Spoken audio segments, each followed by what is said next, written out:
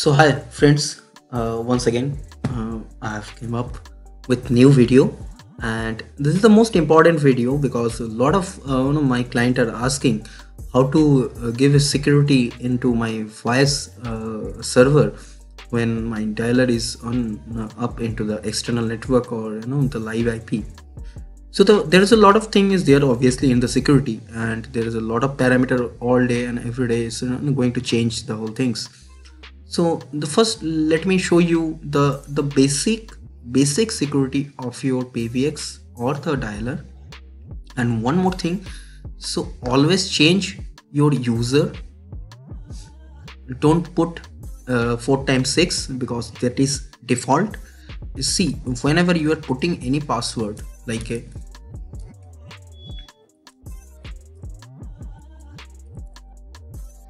so that's mean length is 22 and it shows strong. So always give this this kind of you know the strong uh, you know the password put the password.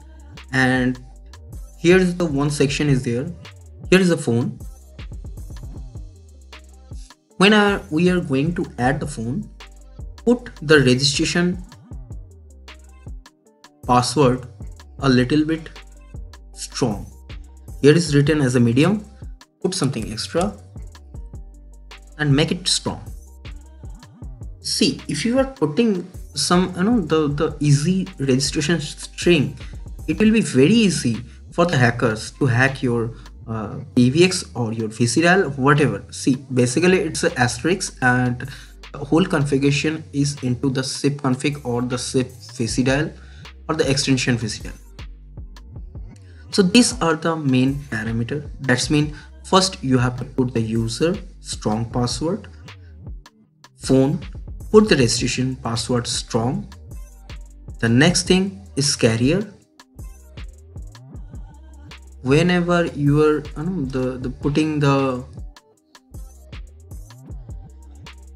putting this one the the prefix one. The prefix one should be a little bit uh, no the difficult as like the long put this kind of thing and give the extension.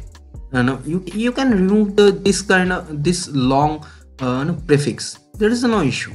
But put a little bit 8 digit or the 9 9 digit or the 10 digit. It will be helpful for your security. Now i'm going to show you some backends. This is my uh, uh, the extension details. Let's change the port number to a different port number. So how to do that one? Go to the vc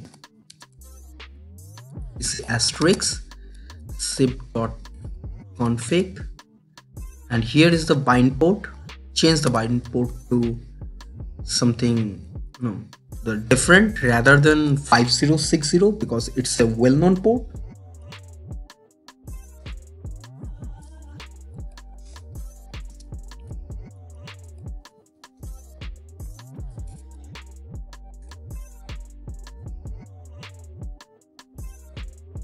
okay so I have restored my services.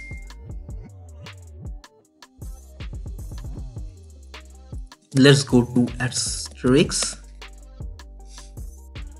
If I'm going to save it see it's showing connecting. And now I'm going to change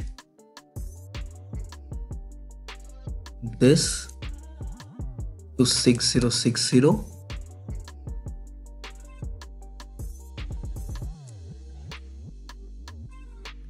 let's save it. So you can check. Now 201 is now reachable? Because I have changed my port number. So once again I'm going to show you. This is the no the settings in your soft phone or the IP phone. So maximum attack attacker or the hackers comes because of the 5060 port is open. Please change it. You know that will be easy for you and it you know the it at least mm, at least 40 to 50 percent security you know the provided by this video. And uh, might be there is a lot of thing is there in the security. It's not a easy and a small thing. If you have if you are facing any issue please mail us. You know we have a paid support also even free support also. So you know if there is anything you know you want to know about the security you uh, we are always ready to you know the question and answer anything.